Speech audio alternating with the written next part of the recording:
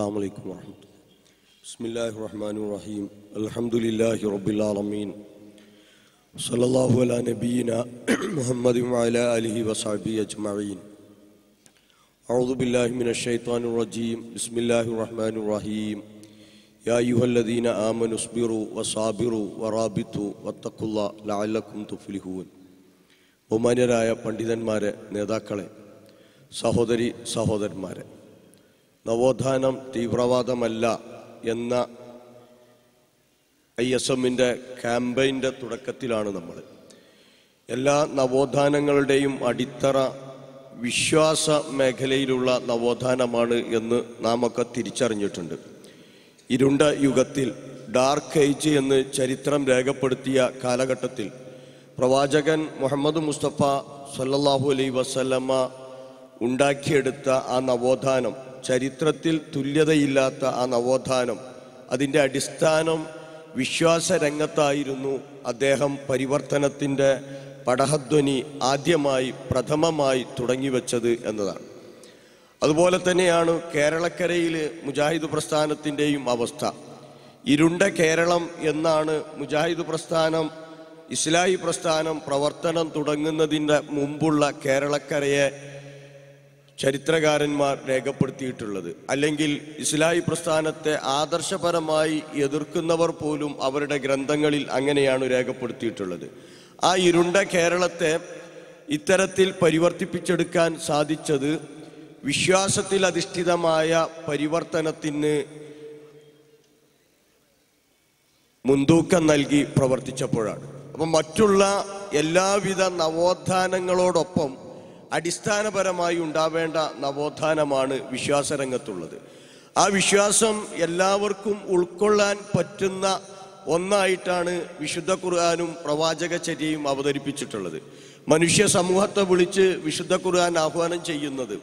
അല്ലയോ ജനങ്ങളെ നിങ്ങൾ നിങ്ങളെയും നിങ്ങളുടെ മുൻഗാമികളെയും സൃഷ്ടിച്ച ഏകനായ നാഥന മാത്രമേ ആരാധിക്കാൻ പാടുള്ളൂ എന്നതാണ്. യാ യുഹന്നാസ് റബ്ബക്കും. അല്ലതീ ഹലക്കക്കും വല്ലതീന മീൻ കബുലിക്കും അപ്പൊ ഈ മുൻഗാമികളെയും നമ്മെയും സൃഷ്ടിച്ച നാഥൻ. ആ നാഥനിലേക്കാണ് ആരാധനയുടെ മുഴുവൻ ഭാഗങ്ങളും സമർപ്പിക്കേണ്ടത്. അത് പ്രാർത്ഥനയാവാം നേർച്ചയാവാം വഴിപാടുകളാവാം അർച്ചനകളാവാം അർത്ഥനകളാവാം. ഇതിൽ ഊന്നി നിന്നുകൊണ്ടാണ് നവോത്ഥാന പ്രവർത്തനങ്ങൾക്ക് മുജാഹിദ് പ്രസ്ഥാനം തുടക്കം കുറിച്ചിട്ടുള്ളത്. പക്ഷേ പലപ്പോഴും ഈ നവോത്ഥാനം നിർവഹിച്ച ആളുകളെയൊക്കെ തീവ്രവാദികൾ എന്നാണ് പലപ്പോഴും പിന്തിരിപ്പൻ ആശയത്തിന്റെ ആളുകൾ പുരോഹിതന്മാർ വിളിച്ചിട്ടുള്ളത്. പ്രവാചകൻ ഇതേ നവോത്ഥാനം തുടങ്ങുമ്പോൾ ആ പ്രവാചകനെ കുറിച്ച് പരിചയപ്പെടുത്തിയത് ഹാദസ്വാബ്യ അല്ലത് ഫറക്ക ബൈന ബനി കുറൈഷ് കുറൈശികൾക്കിടയിൽ ഭിന്നിപ്പുണ്ടാക്കിയ പുത്തൻവാദി മുഹമ്മദ് എന്നായിരുന്നു അവിടെ പരിചയപ്പെടുത്തപ്പെട്ടത്. ആ പ്രവാചകൻ പുതുതായിട്ടൊന്നും കൊണ്ടുവന്നിരുന്നില്ല. മറിച്ച് മുമ്പ് കഴിഞ്ഞുപോയ പ്രവാചകന്മാരെല്ലാം സമൂഹത്തോട് പറഞ്ഞ അതേ കാര്യം തന്നെയാണ് പ്രവാചകനും നിർവഹിച്ചത്. അങ്ങനെ തന്നെയാണ് മുജാഹിദ് പ്രസ്ഥാനവും അതിന്റെ തുടക്കം കുറിക്കുന്നത്. അപ്പൊ ആ ഏകനായ പടച്ചവനെ മാത്രമേ ആരാധിക്കാൻ പാടുള്ളൂ. അതിനു കാരണങ്ങൾ പറഞ്ഞിട്ടുണ്ട്. ഒന്ന് നമ്മെയും നമ്മളുടെ മുൻഗാമികളെയും സൃഷ്ടിച്ചവനാണ് അവൻ നമ്മുടെ സൃഷ്ടിപ്പിനെക്കുറിച്ച് ആലോചിക്കാൻ വിശുദ്ധ ഖുർആൻ പല സ്ഥലങ്ങളിൽ ആഹ്വാനം ചെയ്തിട്ടുണ്ട്. ഹല്ലത്താലൽ ഇൻസാൻ ഹീനും ഷൈഅൻ മദ്കൂറ മനുഷ്യൻ എന്ന അധ്യായത്തിൽ അല്ലെങ്കിൽ കാലം എന്നു പേരുള്ള അധ്യായത്തിൽ മനുഷ്യനോടാണ് പടച്ചവന്റെ ചോദ്യം. ഓർമ്മിക്കാൻ പറ്റാത്ത പ്രസ്താവ്യ യോഗ്യമല്ലാത്ത ഒരു കാലഘട്ടം നിന്റെ ജീവിതത്തിൽ കഴിഞ്ഞു പോയിട്ടില്ലേ എന്ന്. മണ്ണിന്റെ സത്തയായിരുന്നു നമ്മൾ. സുലാലത്തും മിൻ തീൻ പിന്നീട് നുത്തുഫത്തായി ബീജമായി. പുരുഷ ശരീരത്തിൽ രൂപപ്പെടുന്ന ബീജം. ആ ബീജം ഭദ്രമായൊരു സ്ഥലത്ത് സൂക്ഷിക്കപ്പെട്ടു. കറാറും മക്കീൻ. തുടർന്ന് അതിനെ ഭ്രൂണമാക്കി അലക്കത്താക്കി. മാതാവിന്റെ അണ്ടവുമായി യോജിച്ചു ബീജം. അവിടെയാണ് ഭ്രൂണം രൂപപ്പെടുന്നത്. ആ രൂപത്തെ മാംസമാക്കി മാംസത്തെ എല്ലുകളാക്കി എല്ലിനെ മാംസം കൊണ്ട് പൊതിഞ്ഞു എന്നിട്ട് അവനെ മറ്റൊരു സൃഷ്ടിയായി വളർത്തിയെടുത്തവൻ. സുമ അൻഷഇനാഉ ഹൽക്കന്നാഹർ ഫതബാറക്കല്ല അഹ്സനുൽ ഖാലിഖീൻ. ഇവനാണ് ഏറ്റവും നല്ല സൃഷ്ടാവ്. അനുഗ്രഹദാതാവാണ് ഈ പടച്ചവൻ. നോക്കൂ ഈ പടച്ചവനെ മാത്രമേ ആരാധിക്കാൻ പാടുള്ളൂ എന്ന. പടപ്പുകൾ ചിന്തിക്കേണ്ടത് മനുഷ്യർ ആലോചിക്കേണ്ടത് മുജാഹിദ് പ്രസ്ഥാനം ആവശ്യപ്പെടുന്നത് മനുഷ്യനെ ഈ വിധത്തിൽ സൃഷ്ടിച്ചു കൊണ്ടുവരുന്നതിൽ പടച്ചവന് പുറമെ സൃഷ്ടാവിന് പുറമെ മനുഷ്യർ വിളിച്ചു തേടുന്ന ഏതെങ്കിലും അമ്പിയാക്കൾക്കോ ഔലിയാക്കൾക്കോ മഹാന്മാർക്കോ മുനിമാർക്കോ മഹർഷിമാർക്കോ ദിവ്യന്മാർക്കോ സിദ്ധന്മാർക്കോ വ്യക്തികൾക്കോ ശക്തികൾക്കോ വല്ല പങ്കുമുണ്ടോ എന്ന. ഇല്ല എന്നതാണ് വസ്തുത. മനുഷ്യന്റെ ബുദ്ധി അത് അവനെ കൃത്യമായി ബോധ്യപ്പെടുത്തും. എങ്കിൽ ആരുടെയും പങ്കില്ലാതെ മനുഷ്യനെ ഈ രീതിയിൽ സൃഷ്ടിച്ച് വളർത്തിക്കൊണ്ടുവന്ന ഏകനായ പടച്ചവനാണ് അവൻ ആരാധനകളുടെ മുഴുവൻ ഭാഗങ്ങളും സമർപ്പിക്കേണ്ടത്. നവോത്ഥാനത്തിന്റെ അടിസ്ഥാനമാണ് വിശ്വാസരംഗത്ത്. ആ പടച്ചവനാണ് ഈ ഭൂമിയെ സംവിധാനിച്ചു തന്നവൻ. ഇഷ്ടമുള്ളതൊക്കെ കുഴിച്ചെടുക്കാം ഭൂമിയിൽ നിന്ന്. നമുക്ക് ശുദ്ധജലം വേണമെങ്കിൽ ഭൂമിയിലുണ്ട്. സ്വർണം വേണമെങ്കിൽ ഭൂമിയിലുണ്ട്. ഇന്ധനം വേണോ ഭൂമിയിലുണ്ട്. ആവശ്യമുള്ളതൊക്കെ കുഴിച്ചെടുക്കാം. ആവശ്യമില്ലാത്തതെല്ലാം കുഴിച്ചിടാം ഈ ഭൂമിയിൽ. ആരാണ് ഈ ഭൂമിയെ സംവിധാനിച്ചവൻ? നേരത്തെ പറഞ്ഞതുപോലെ മനുഷ്യർ പടച്ചവന് പുറമെ വിളിച്ചു തേടുന്ന ഒരു ശക്തിക്കും ഈ ഭൂമിയെ സംവിധാനിക്കുന്നതിൽ പങ്കില്ല എങ്കിൽ ആരുടെയും പങ്കില്ലാതെ നമുക്ക് വേണ്ടി ഈ ഭൂമിയെ കൃത്യമായി സംവിധാനിച്ച ഏകനായ നാഥനെ മാത്രമേ നിങ്ങൾ ആരാധിക്കാൻ പാടുള്ളൂ. മുഴുവൻ ഭാഗങ്ങളും ആരാധനയുടെ മുഴുവൻ വശങ്ങളും ആ പടച്ചവനിലേക്ക് സമർപ്പിക്കാൻ പാടുള്ളൂ. അവനാണ് ആകാശവും അന്തരീക്ഷവും സൂര്യനെയും ചന്ദ്രനെയും നക്ഷത്രങ്ങളെയും നമുക്ക് കീഴ്പ്പെടുത്തി തന്നത് അവനാണ് മഴ വർഷിപ്പിച്ചു തരുന്നവൻ കായ്ക്കനികൾ ഉൽപ്പാദിപ്പിച്ചു തരുന്നവൻ അവനാണ് മറ്റാരുടെയും പങ്കുകൂടാതെ. അതുകൊണ്ട് പടച്ചവൻ ആവശ്യപ്പെടുന്നു "വഖാല റബ്ബുക്കും ഉദ്ഉനി അസ്തജിബുലക്കും നിങ്ങളുടെ റബ്ബ് പറയുന്നു അള്ളാഹു പറയുന്നു എന്നല്ല ഖുർആന്റെ പ്രയോഗം.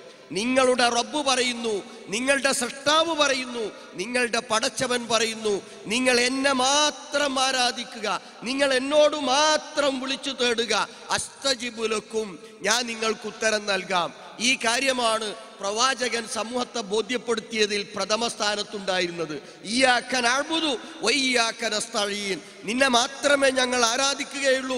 നിന്നോട് മാത്രമേ ഞങ്ങൾ സഹായം തേടുകയുള്ളൂ എന്ന് പറഞ്ഞപ്പോൾ പ്രവാചകനെ അതുവരെ സ്നേഹിച്ച അലമീൻ എന്ന് വിളിച്ചിരുന്ന പ്രവാചകന്റെ കുടുംബക്കാർ പോലും പ്രവാചകനോട് തിരിച്ചു ചോദിച്ചു ഇലാഹൻ വാഹിദ മുഹമ്മദേ നീ ആരാധ്യന്മാരെ ഒന്നാക്കുകയാണോ? അത് അത്ഭുതമാണ് അത് അംഗീകരിക്കാൻ ഞങ്ങളെ കിട്ടുകയില്ല എന്ന്. അവിടെ ഒരു അഡ്ജസ്റ്റ്മെന്റ് പറ്റുമോ എന്ന് പോലും അവർ പ്രവാചകനോട് തിരക്കി. ഞങ്ങൾ ആരാധിക്കുന്നവയെ നീ ഒന്ന് വണങ്ങിയാൽ മതി. നീ ആരാധിക്കുന്ന ആ പടച്ചവനെ ഞങ്ങളും ആരാധിച്ചു കൊള്ളാം. അവിടെയാണ് വിശുദ്ധ ഖുർആനിന്റെ സൂക്തം ഇറങ്ങുന്നത് ലാ വലാ ലക്കും ദീനുക്കും വലിയ ദീൻ. സത്യത്തെ നിഷേധിക്കുന്നവരെ. ഈ ലോകത്തിലെ ഏറ്റവും പരമമായ സത്യം ഈ പ്രപഞ്ചത്തിന് ഒരു നാഥനുണ്ട് എന്നതാണ്. ആ നാഥൻ ഏകനാണ് ആ നാഥന്റെ കൽപ്പനകൾക്ക് വിധേയമായി ജീവിക്കേണ്ടവനാണ് മനുഷ്യൻ. മനുഷ്യനെ സ്വർഗത്തിലാണ് പടച്ചത്. പിന്നീട് ഭൂമിയിലേക്ക് നിയോഗിച്ചു. ഈ ഭൂമിയിൽ നിന്ന് മനുഷ്യൻ മരണപ്പെട്ട് വീണ്ടും സ്വർഗത്തിലേക്ക് എത്തണമെങ്കിൽ ആ പടച്ചവന് പരിപൂർണമായി കീഴ്പ്പെട്ടു ജീവിക്കണം. ഇതാണ് ഇസ്ലാം. മുജാഹിദ് പ്രസ്ഥാനം സമൂഹത്തിന്റെ മുമ്പിൽ വെച്ചത് പ്രവാചകൻ അത് വച്ചപ്പോൾ അവരുടെ ചോദ്യം നീ ഇലാഹുകളെ ഒന്നാക്കുകയാണോ? എന്ന. അവിടെ നിന്നാണ് മർദ്ദനങ്ങൾ തുടങ്ങേണ്ടി വന്നത്. പ്രവാചകനെ അവർ വിളിക്കാത്ത പേരുകൾ ഉണ്ടായിരുന്നില്ല പ്രവാചകനെ നാട്ടിൽ നിന്ന് ആട്ടിയോടിച്ചു. ആ പ്രവാചകൻ ആ നാട്ടിൽ നിന്ന് പോകേണ്ട ഘട്ടത്തിൽ പോലും ഇതിൽ തന്നെ ഉറച്ചു നിന്നു എന്നതാണ് നമ്മൾക്ക് ആവേശം പകരുന്നത്. അവിടെയാണ് നമ്മളുടെ മാതൃക. ആ മാതൃക പിന്തുടർന്നുകൊണ്ടാണ് കേരളത്തിലെ മുജാഹിദ് പ്രസ്ഥാനം ഈ മേഖലയിൽ പ്രവർത്തിച്ചു മുന്നേറിയത്. അങ്ങനെ ആ പടച്ചവനെ മാത്രമേ ആരാധിക്കാൻ പാടുള്ളൂ എന്ന് പറയുമ്പോൾ അതിന്റെ അടിസ്ഥാനം മറ്റൊരു മേഖലയിലേക്ക് കൂടി ചെന്നെത്തുന്നു. മനുഷ്യ കഴിവിനപ്പുറത്തുള്ള കാര്യങ്ങളിൽ നമ്മെ രക്ഷിക്കാനും സൃഷ്ടിക്കാനുമുള്ള കഴിവ് പടച്ചവന് മാത്രമേ ഉള്ളൂ എന്ന്. അഥവാ വൈബിയായ അറിവ് നമ്മളുടെ ചിന്തകൾക്കും ബുദ്ധികൾക്കും അപ്പുറത്ത് നമ്മളുടെ പഞ്ചേന്ദ്രിയങ്ങൾക്കപ്പുറത്തുള്ള അറിവ് പടച്ചവനു മാത്രമേയുള്ളൂ വൈപറിയുന്നവൻ പടച്ചവൻ മാത്രമാണ്. പ്രവാചകനോട് പടച്ചവൻ പറയാൻ കൽപ്പിക്കുന്നുണ്ട്. സൂറത്തു നമ്മിൽ അറുപത്തിയഞ്ചാമത്തെ വചനത്തിൽ പ്രവാചകരെ പറയണം. ലാ യഅലമു മൻ ഫിസ് സമാവാതി വൽ അർൾ അൽ ഗൈബ ഇല്ലല്ലാഹ് വമാ യശ്ഉറൂന അയ്യാന യുബാസൂൻ ആകാശ ഭൂമികളിലുള്ള ആരും വൈപറിയുകയില്ല ഇല്ലല്ല അള്ളാഹു ഒഴികെ മറ്റാരും പടച്ചവൻ മാത്രമാണ് വൈപറിയുന്നവൻ പ്രവാചകനോട് പോലും പറയാൻ വേണ്ടി പടച്ചവൻ കൽപ്പിച്ചിട്ടുണ്ട്. സൂറത്ത് ആയിറാഫിലെ നൂറ്റി എൺപത്തി എട്ടാമത്തെ വചനത്തിൽ കുൽ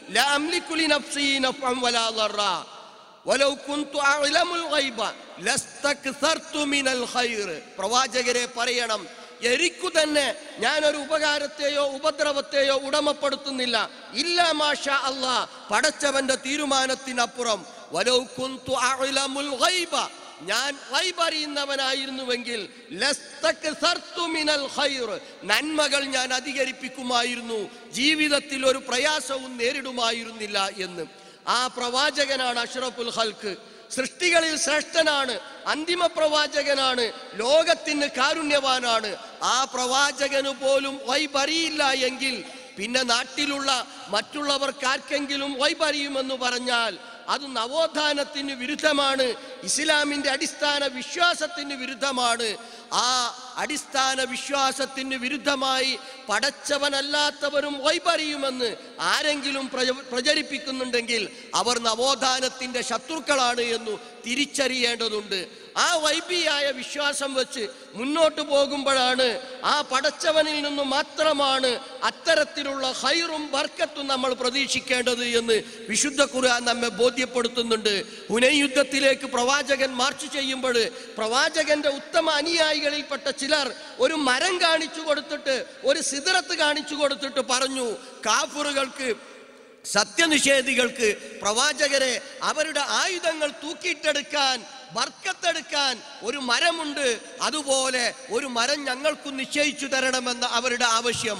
പ്രവാചകൻ അതിനെ അനുകൂലിക്കുകയല്ല ചെയ്തത്. പൊടിയും മുടിയും ഒക്കെയായി നടക്കുന്ന പുരോഹിതന്മാരുണ്ട് ഉസ്താദുമാരുണ്ട്. അവർ പറയുന്നതാണ് ശരിയെങ്കിൽ പ്രവാചകൻ അല്പം തിരുകേശവും വസ്ത്രത്തിന്റെ കഷ്ണവും പാത്രമോ ആ പാദരക്ഷയോ ഒക്കെ എടുത്ത് ഒരു മരം നിശ്ചയിച്ചു കൊടുത്തു നിങ്ങൾ ബർക്കത്തെടുത്തോളൂ എന്ന് വേണ്ടി എന്നായിരുന്നു കൽപ്പിക്കേണ്ടിയിരുന്നത്. പക്ഷേ പ്രവാചകന്റെ മുഖം ചുകന്നു. വളരെ കടുത്ത സ്വരത്തിൽ പ്രവാചകൻ മുന്നറിയിപ്പ് നൽകി. അള്ളാഹു അക്ബർ ഹാദാ കമാ സുഇല മൂസ. അള്ളാഹു അക്ബർ പടച്ചവൻ അത്യുന്നതനാണ്. ഇത് മൂസ സ്വലാമിയോട് സ്വന്തം അണികൾ ചോദിച്ചതിന് തുല്യമാണ് എന്ന്. മൂസ സ്വലാമിയോട് എന്താണ് അണികൾ ചോദിച്ചത് എന്ന് സൂറത്ത് വായറാഫിലെ നൂറ്റി മുപ്പത്തി എട്ടാമത്തെ വചനത്തിൽ ഖുർആൻ നമ്മെ ബോധ്യപ്പെടുത്തിയിട്ടുണ്ട്. ഇസ്രായേലിയർ കടൽ കടന്നു. അങ്ങനെ പോകുമ്പോൾ ആ ഒരു സമൂഹത്തിന്റെ മുന്നിലൂടെ നടന്നു പോകുന്നു അവർ. അപ്പോൾ ആ സമൂഹത്തെ കാണുന്നു. യഅ്ഖുബൂന അലാ അസ്നാമില്ലഹും അവരുടെ വിഗ്രഹങ്ങളെ ആരാധിക്കുന്ന സമൂഹം. അപ്പോൾ ആ സമൂഹത്തെ വിഗ്രഹങ്ങളുടെ ആരാധന കണ്ടപ്പോൾ മൂസ അലൈഹി സ്വലാമയുടെ അണികൾ അദ്ദേഹത്തോട് ആവശ്യപ്പെട്ടു. ഇജാലനായിലാഹൻ കമാലഹും മാലിഹ. അവർക്ക് ഒരുപാട് ആരാധ്യന്മാരില്ലേ? അതുപോലെ ഒരു ഇലാഹിനെ ഞങ്ങൾക്ക് നിശ്ചയിച്ചു തരണമെന്ന്.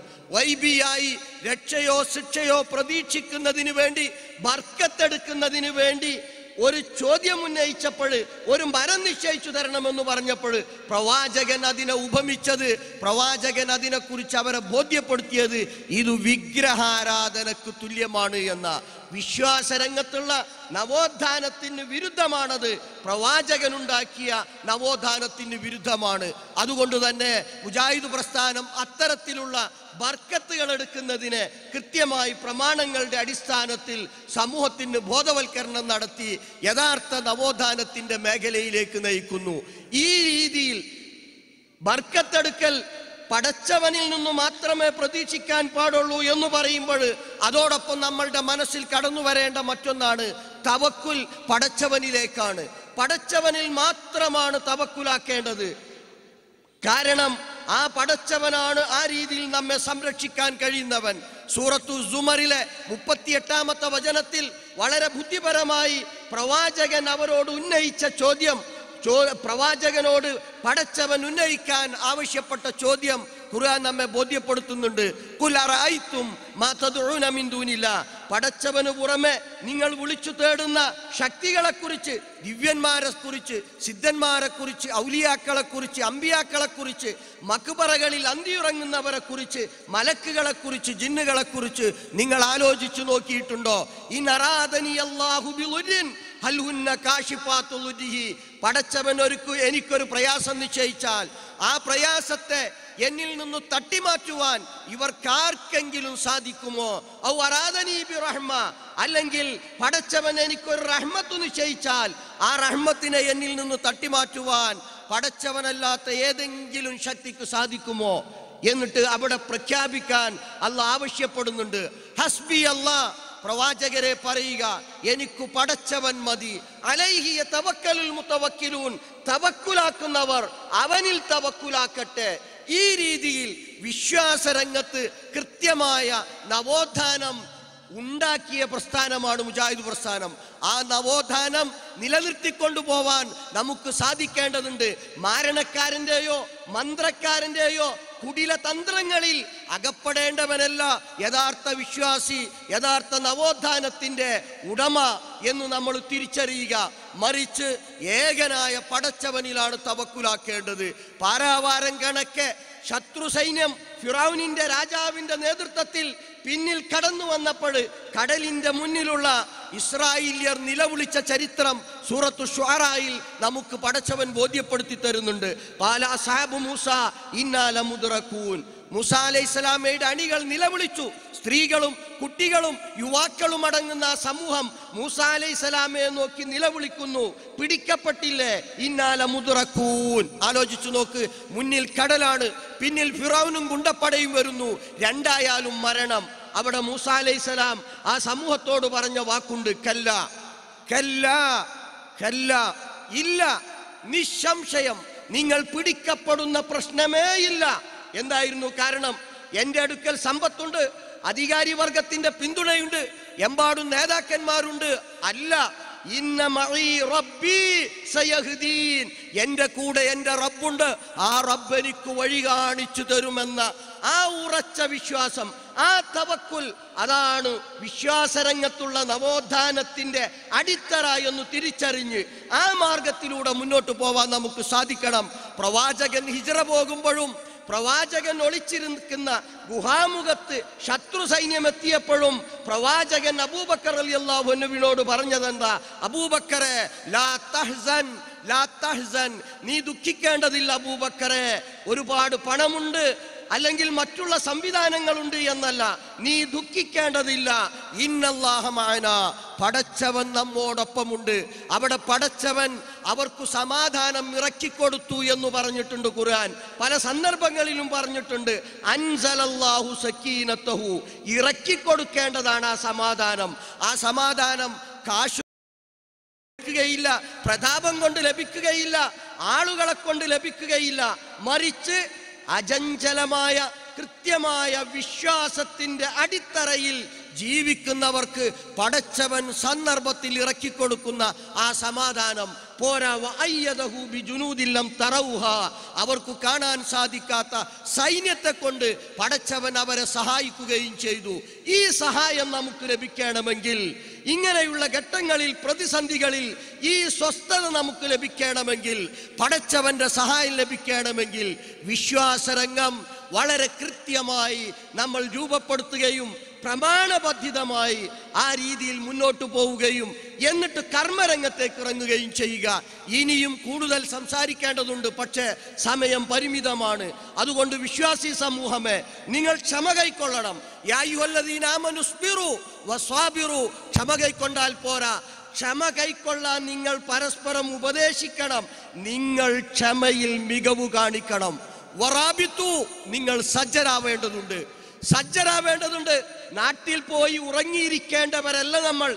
ഈ നവോത്ഥാനത്തിന്റെ കൈത്തിരി കെടാതെ നമ്മളുടെ പിൻഗാമികൾക്ക് ഏൽപ്പിച്ചു കൊടുക്കാൻ വേണ്ടി എല്ലാവിധ എല്ലാവിധ തടസ്സങ്ങളെയും മറികടക്കാൻ നിങ്ങൾ സജ്ജരാവുക.